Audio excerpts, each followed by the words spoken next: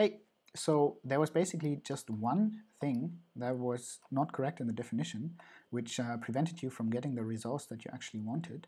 And that was the fact that uh, you were creating random numbers um, down here and using these numbers to then uh, set the search radius um, in which to search for uh, circles um, to connect to.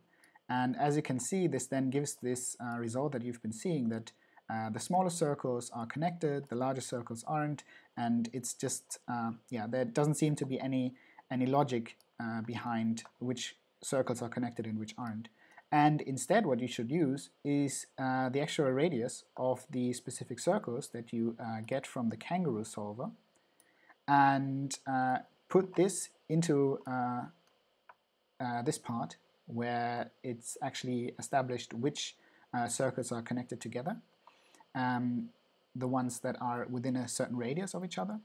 And um, then you actually get, with a bit of fine tuning of this of this value, you actually get uh, the correct amount or the correct indices of the uh, of the um, of the circles that are supposed to be connected.